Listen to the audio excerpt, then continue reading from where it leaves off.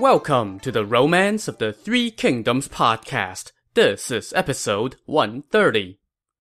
Last time, we left Zhuge Liang in a bit of a pickle. He was garrisoned inside a small town called Lucheng, while his opponent, Sima Yi, had sent an army to attack the Saber Pass, which would cut off Zhuge Liang's path of retreat and his supply route. Meanwhile, Sima Yi was coming to attack Lucheng in person. What's more, all this was happening at a time when Zhuge Liang was just about to rotate his field army off the front lines in exchange for fresh reserves.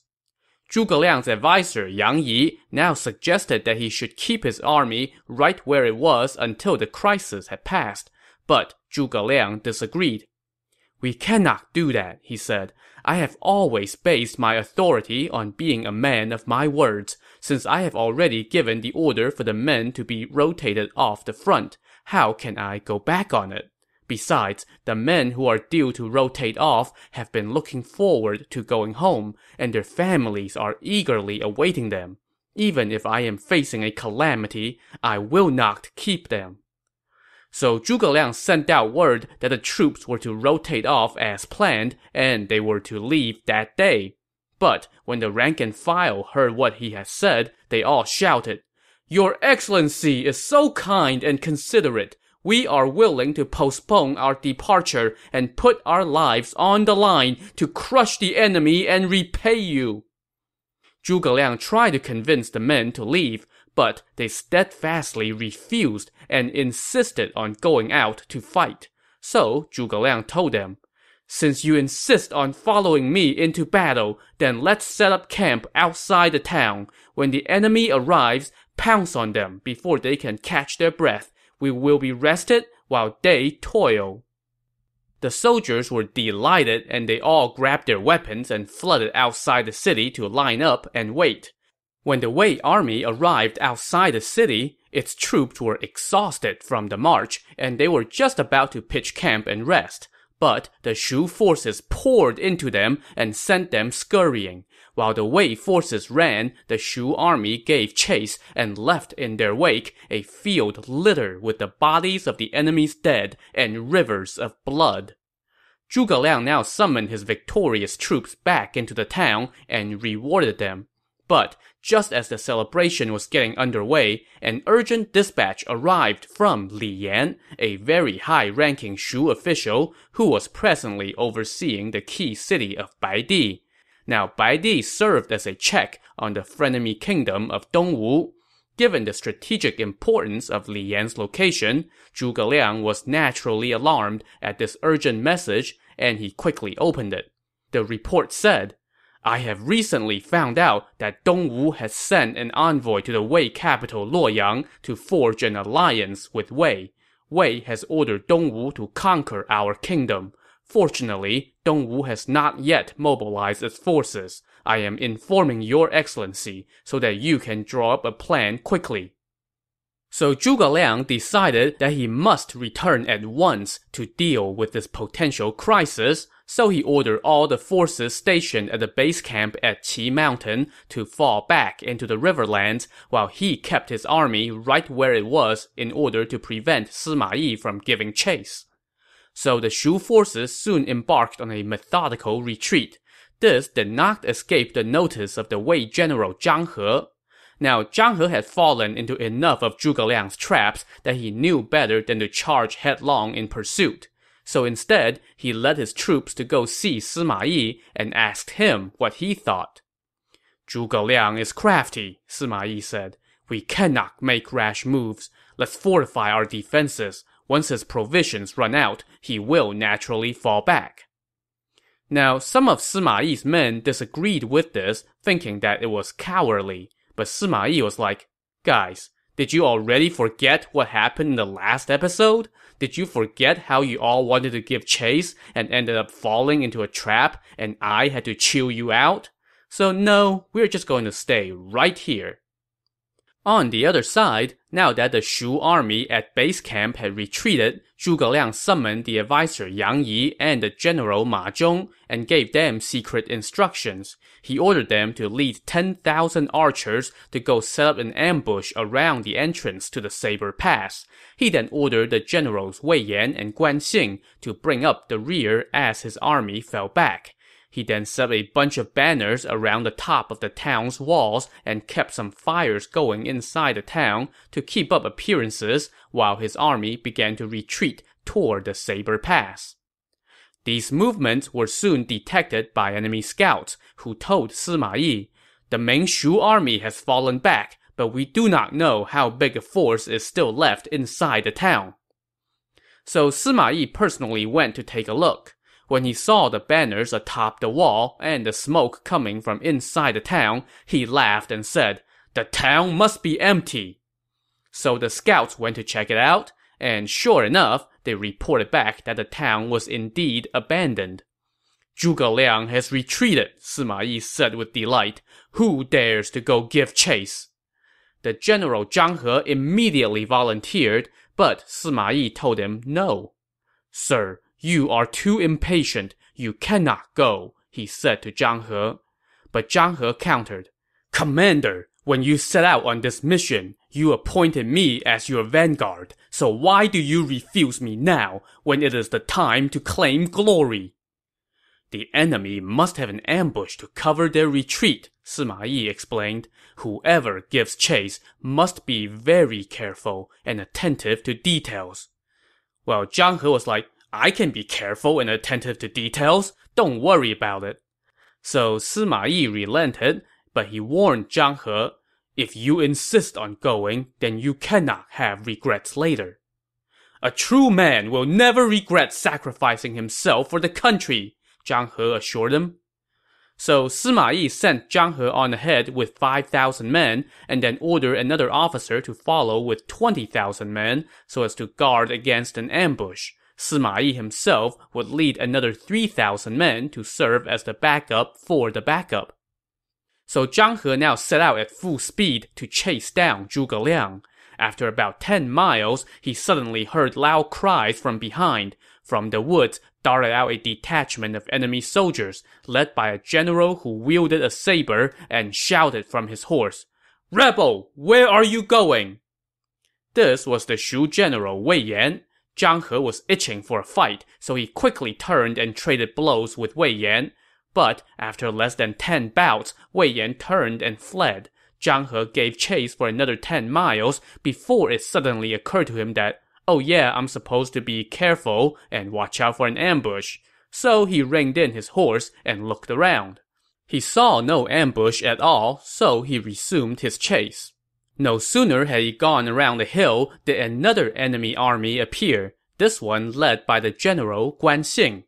Zhang He took him on as well, and within ten bouts, Guan Xing also turned and fled, and Zhang He once again gave chase. The pursuit led Zhang He into a thickly wooded area, and he quickly became suspicious, so he held up and ordered his men to scout out the area.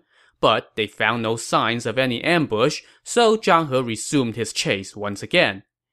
He had not gone far when he spotted none other than Wei Yan waiting for him up ahead, so they fought for another ten bouts, and Wei Yan once again turned and fled. Zhang He was now raging mad, and he gave chase again. But now his path was blocked by Guan Xing again, who also fought him for another ten bouts. So this went on and on. Wei Yan and Guan Xing took turns fighting Zhang He, while the Shu soldiers ditched their clothing, armor, and other belongings along the way as they fled. Seeing all this loot lying around, the Wei soldiers now got off their horses and started squabbling over the booty. Really, guys? Are you really that dense? Have you not seen enough of Zhuge Liang's tricks to spot one from a mile away? Anyway, this continued until dusk. In the dying daylight, the Shu army and their Wei pursuers arrived at the entrance to the Saber Pass. Wei Yan now reined in his horse, turned around, and cursed at Zhang He. Zhang He, you rebel! I did not want to fight you, but you kept chasing me. Let's have it out right here. Zhang He was like, Yeah, that's what I've been waiting for, so bring it. So the two of them tangled again, but once again, after less than ten bouts, Wei Yan turned and fled, abandoning his armor, helmet, and horse while fleeing with his soldiers along the Saber Pass. Zhang He sure as heck was not going to stop now, so he galloped after them as night fell. Suddenly, an explosive sounded, and the hillside was lit up with torches as giant boulders and logs tumbled down the hill and blocked Zhang He's path forward. It's a trap, Zhang He said with alarm. Just as he turned to fall back, he saw that the path of retreat was now also blocked by boulders and logs. What's more, on his left and right were sheer cliffs, so there was nowhere for him to go. Just then, another signal sounded, and the 10,000 archers who had been lying in wait now stood up and fired.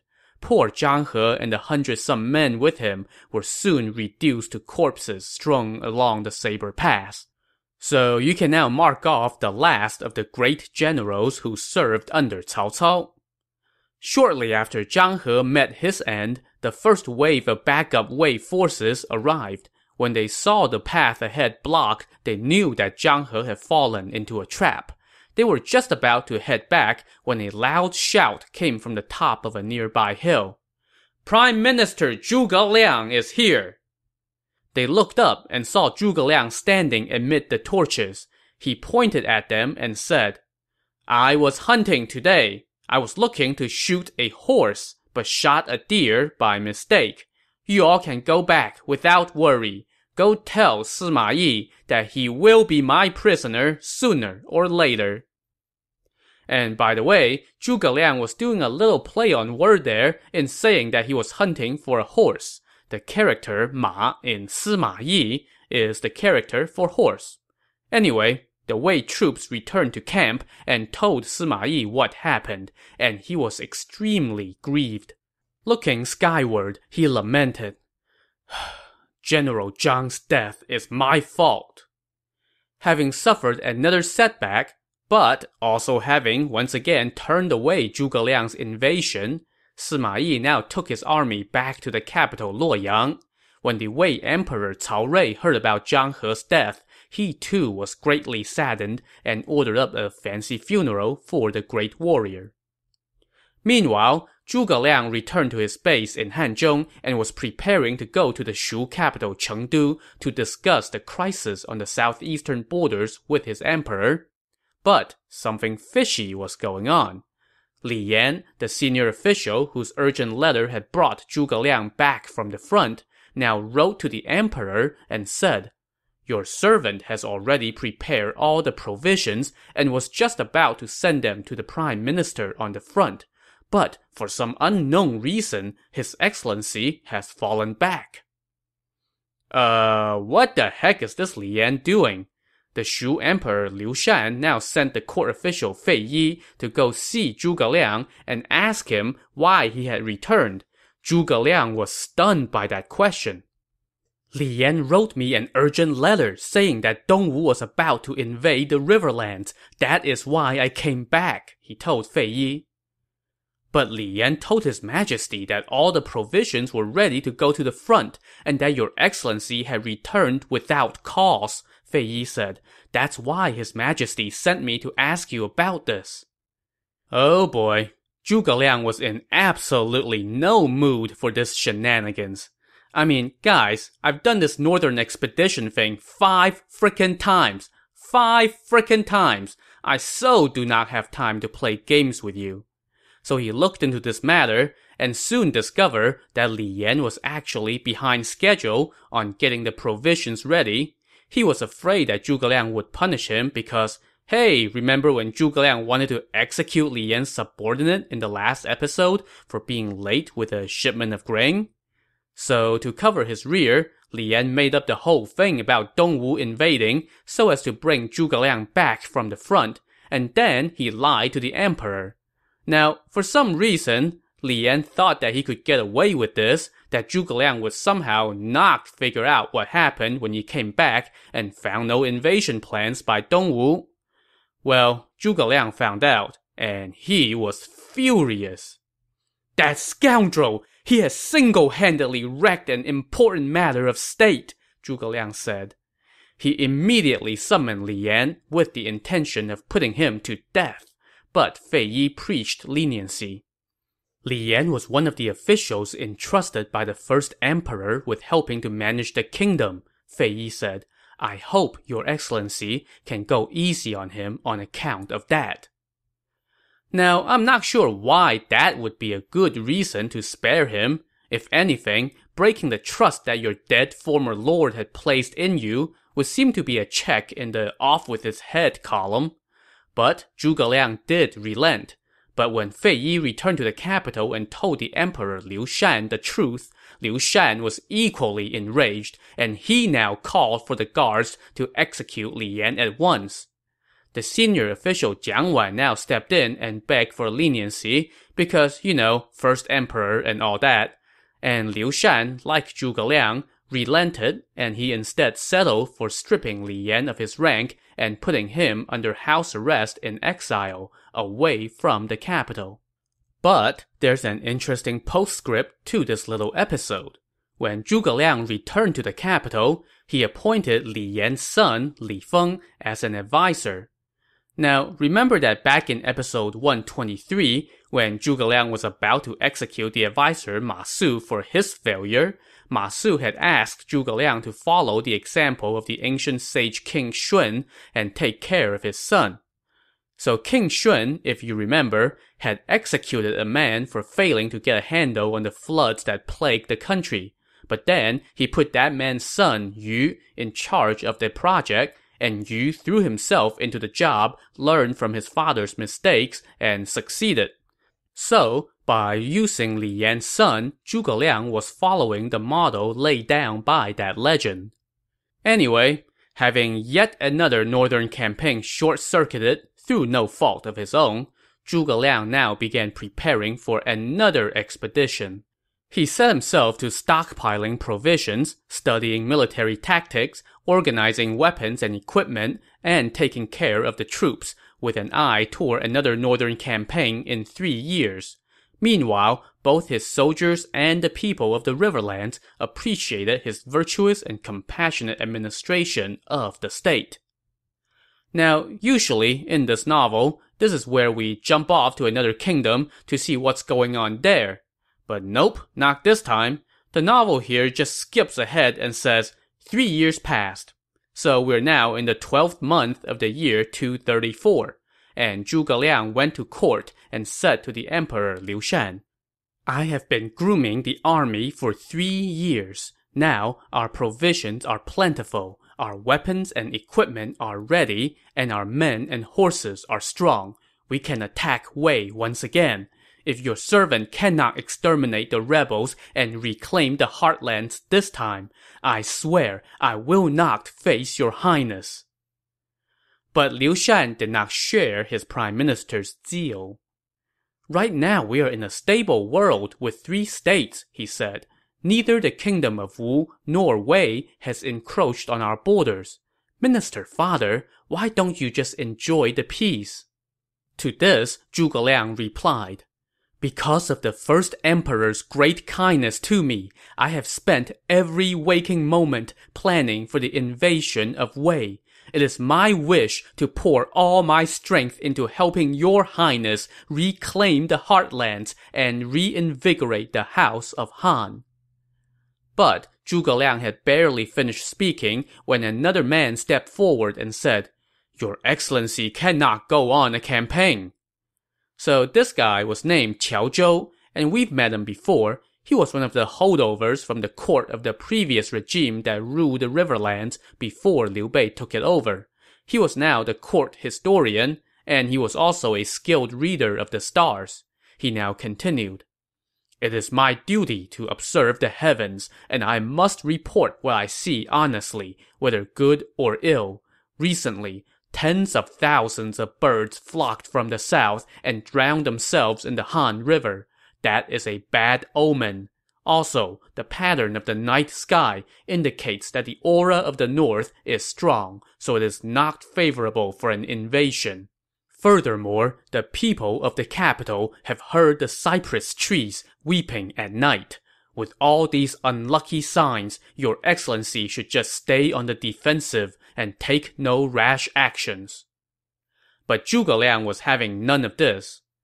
I was entrusted with a great responsibility by the first emperor, so I must do all that I can to exterminate the rebels. How can I abandon the important affairs of the state just because of some meaningless signs? So the northern expedition was on once again. We are now on number six, for those of you keeping count. But before he set out this time, Zhuge Liang went to Liu Bei's temple and offered a sacrifice to ask for some divine assistance. In front of the altar, he wept and prayed to Liu Bei's spirit. Your servant, Zhuge Liang, has yet to gain an inch of territory on five expeditions from Qi Mountain. This is a great offense. Now, I am mobilizing the troops and marching out from Qi Mountain once again.